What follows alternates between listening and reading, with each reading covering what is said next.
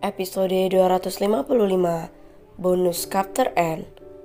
Terima kasih telah datang, ucap seorang laki-laki tampan yang tengah mengantarkan pelanggan kafe-nya.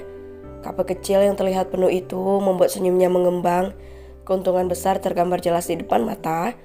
Dengan memasak sendiri menu yang ada dan dibantu oleh beberapa chef, mereka mampu memanjakan lidah setiap pengunjung kafe. Tak jarang mereka datang kembali hanya untuk mencicipi masakan Tono atau hanya sekadar mengagumi ketampanannya. Karena saat ini ia tengah berpenampilan asli tanpa tompel dan rambut klinis. Kak, apa aku boleh berfoto denganmu? Tanya salah satu pengunjung. Maaf kak, saya bukan artis. Tolak Tono tersenyum kaku. Gak apa-apa kak, yang penting kakak mirip artis Korea, Cha Eun Wo. Boleh ya kak, ucapnya memohon. Baiklah, ucap Tono pasrah. Cekrek, cekrek. Terima kasih kakak, aku akan sering datang ke sini. Ucap dua orang gadis itu tersenyum senang. Sama-sama, ditunggu kedatangannya lagi kak. Ucap Tono ramah dan mengantar kepergian pelanggannya. Senang ya jadi idola cewek-cewek. Sepku idolaku, haha. Ucap seseorang dan membuat Tono tersenyum manis. Hai, kapan datang? Sapa Tono salah tingkah. Bahkan kehadiranku saja tidak kamu sadari karena mereka, ucap Ipana ketus. Eh, jangan marah, maaf ya. Hm, bagaimana kalau aku masakan sesuatu? Ucap Tono menawarkan. Boleh, tapi sepertinya sudah tidak ada tempat kosong lagi. Ucap Ipana memperhatikan sekitarnya. Ah, itu jangan risau, kamu bisa duduk di dekat kasir. Hanya itu kursi yang tersedia. Ucap Tono menggaruk tengkuknya. Baiklah, ucap Ipana mengikuti Tono. Banyak pasang mata yang memperhatikan Ipana yang terlihat begitu cantik dengan menggunakan mini dress berwarna biru toska dengan bau putihnya yang terekspos indah, namun masih ditutupi oleh rambut panjangnya membuat semua mata menoleh ke arah gadis cantik itu. Nah, duduk di sini aku akan membuatkan sesuatu yang sangat enak untuk Tuan Putri Dirgantara ini. Hmm, tanpa bumbu penyedap dan bahan yang aneh, apa bisa kamu memakannya? Tanya Tono yang mengetahui itu dari Safira. Bisa, asal micinnya nggak banyak, aku masih bisa makan kok. Ucap Ipana tersenyum. Baiklah, aku tinggal sebentar ya. Sip.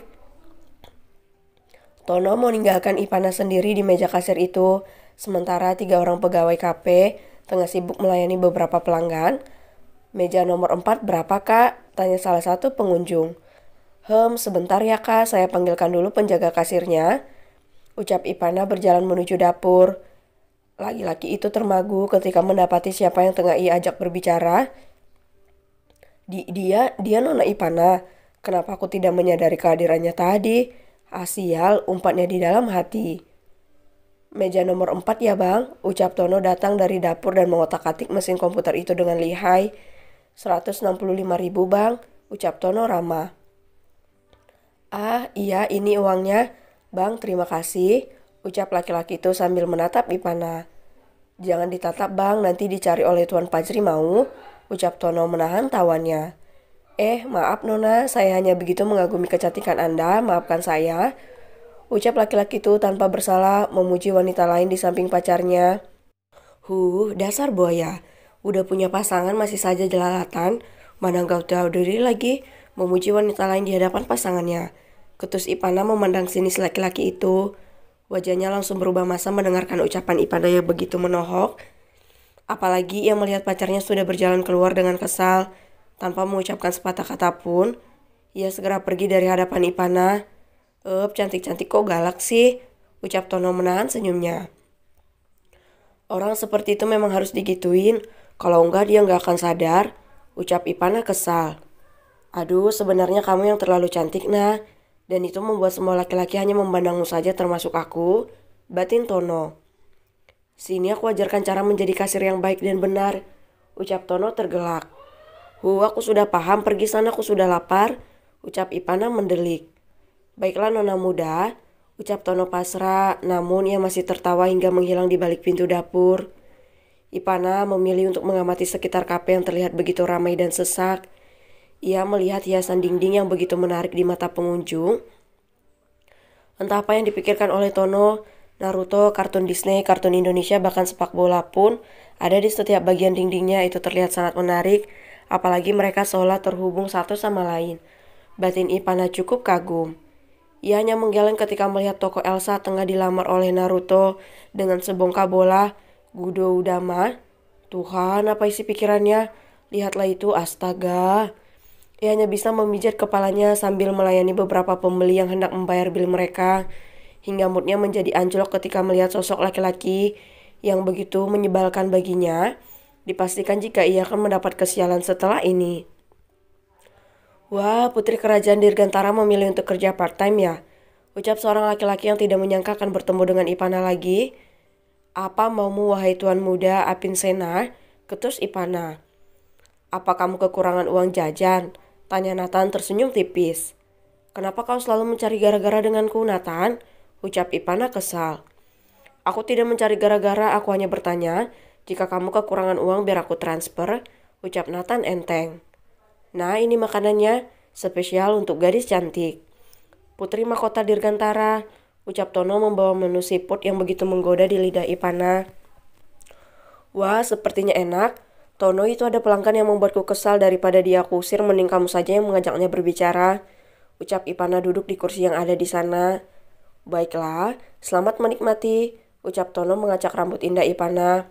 Gadis itu kesal namun ia hanya cemberut manja sambil mengikat rambutnya agar tidak mengganggu. Sementara Nathan melotot kaget dengan apa yang baru saja ia lihat. Ia menatap tajam Tono dan menelisik siapa laki-laki ini sebenarnya. Ada yang bisa kami bantu tuan? Tanya Tono ramah. Ayam bakar dengan saus padang satu, ucap Nathan tajam. Ayam bakar dengan saus padang satu, apa ada yang lain tuan? Tanya Tono. Air putih jangan lupa nasinya, ucap Nathan. Baiklah, silakan ditunggu, ucap Tono. Ia memanggil salah satu karyawannya untuk mengantarkan Nathan menuju meja yang baru saja kosong. Aku harus mencari tahu siapa laki-laki itu, batin Nathan. Sementara di meja kasir, Ipana sudah menghidupkan ponselnya dan melakukan live streaming di salah satu media sosial. Ia ingin membantu Tono tanpa diminta oleh pria tampan itu. Bagaimana rasanya? Apa enak? Tanya Tono yang duduk di samping Ipana. Enak semuanya pas, ucap Ipana. Habiskanlah, ucap Tono. Memandang Ipana sambil tersenyum, ia tidak menyadari jika Ipana tengah melakukan live hingga kolom komentar milik Ipana sudah dibanjiri oleh para followersnya dan menanyakan tentang siapa yang ada di sebelah Ipana. Hati-hati makannya, belepotan ke mana-mana, ucap Tono tanpa sadar mengusap mulut Ipana menggunakan tisu. Astaga, Pekik Tono dan segera bangkit ketika menyadari kamera Ipana tengah menyala. Ipana hanya menahan tawa melihat wajah Tono yang merona malu karena apa yang barusan ia lakukan ditonton oleh hampir 200 ribu orang. Kenapa nggak bilang kalau lagi live, bisik Tono dari jauh. Kamu kan gak nanya, ucap Ipana polos. Ia membaca komentar-komentar orang yang ada di ponsel Ipana dari samping. Wah, siapa tuh ganteng banget. Wah, Tuan Pajar harus tahu ini jika adiknya dimodusin sama laki-laki. Nona muda jangan punya pasangan ya, tunggu aku sukses dulu. Pajri, tuan muda adik Anda diganggu oleh buaya darat. Dan masih banyak orang yang menandai Pajri di sana. Tanpa mereka sadari, Pajri juga sudah menonton live streaming Ivana sejak awal. Sherlock, abang ke sana sekarang, tulis Pajri. Kolom komentar Ivana semakin ramai dan ricuh, bahkan ada yang menyebut akan ikut pergi ke Kapetono karena Ivana sudah menyebutkannya di awal tadi. Keringat dingin Tono mulai bercucuran membasahi bajunya ketika membaca jika Pajri akan datang ke sini dan beberapa orang yang lain. Siap-siap KPmu rame Tono, ucap Ipana menahan tawannya. Nah, jangan ya nah nanti. Sudah, jangan khawatir. Aku akan menyediakan beberapa orang dari tim keamanan agar tidak ricuh. Ucap Ipana mematikan live-nya dan mengirim lokasinya kepada Pajri. Nah, panggil Tono frustasi ketika melihat beberapa orang masuk ke dalam kafe seolah tengah mencari keberadaan Ipana. Mereka tidak melihatku kan? Tanya Ipana santai. Sepertinya tidak, ucap Tono sedikit takut. Ya sudah, layanilah mereka biar aku yang menjaga kasir, ucap Ipana santai sambil memakan makanannya. Tatapi nah, pergi sana sebelum kafemu dicap tidak bagus, ucap Ipana tersenyum jahil.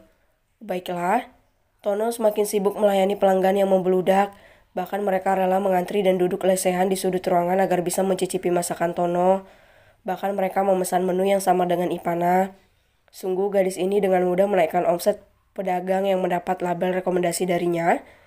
Aku hanya bisa membantu dengan cara ini. Semoga ke depannya kamu bisa lebih baik lagi, Tono. Batin Ipana. Ia memakai masker dan melayani pelanggan untuk membayar bil dan memesan makanan. Sementara Tono dan dua orang chef lainnya kewalahan mendapatkan pesanan yang begitu banyak hari ini.